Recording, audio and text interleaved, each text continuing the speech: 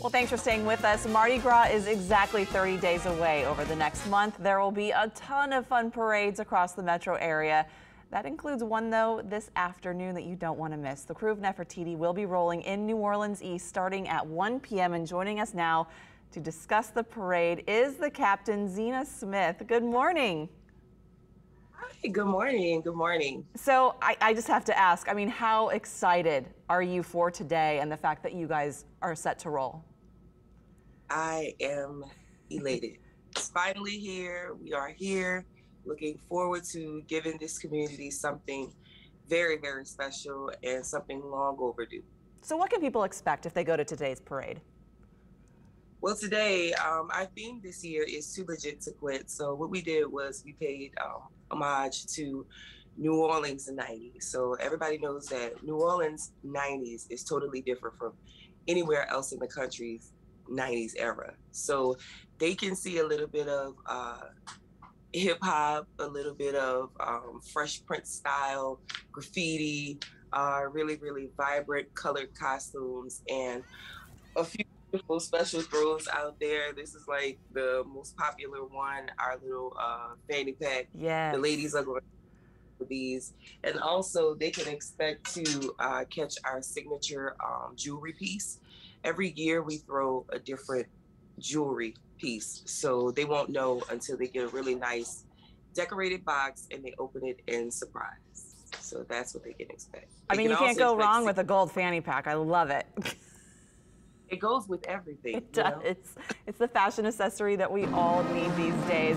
Tell us a little bit about some of the safety measures um, that you guys are going to be taking. Obviously, you know, the big elephant in the room is, of course, we have the Omicron variant and we are in a pandemic still.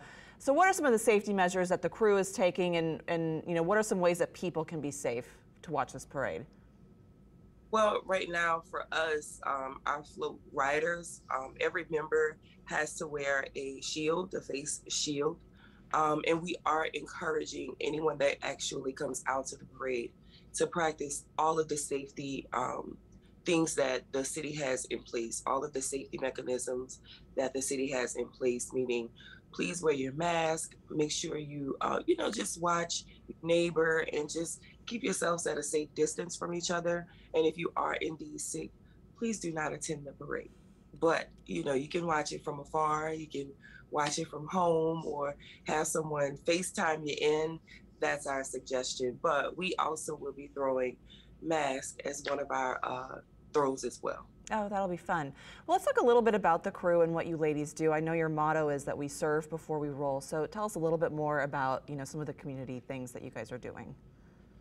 Well, over since 2018, when we were established, that has been the main purpose of the Krewe of Nefertiti. I always tell my uh, members that the parade and the ball is Lagniappe. That is the big finale for all the hard work that you've done. So we've worked closely with uh, Councilwoman Cyndi Nguyen in District E and several other small organizations around the community. That's what we are kind of geared towards. We really only deal with the local, smaller organizations. Nothing against the larger ones, but the smaller ones, they need a little bit more help and attention. So that's kind of what we do. That's kind of who we are. Yeah, you guys have a great website. Unfortunately, we are out of time, but where can people go for more information if they want information about the crew and what you guys do or how to get involved? They can definitely go to www.crewofnefertiti.org. Well, Zena Smith, thank you so much for joining us this morning. I know it's early. You have a long day today, but it's going to be an exciting one. So have fun. Thank you.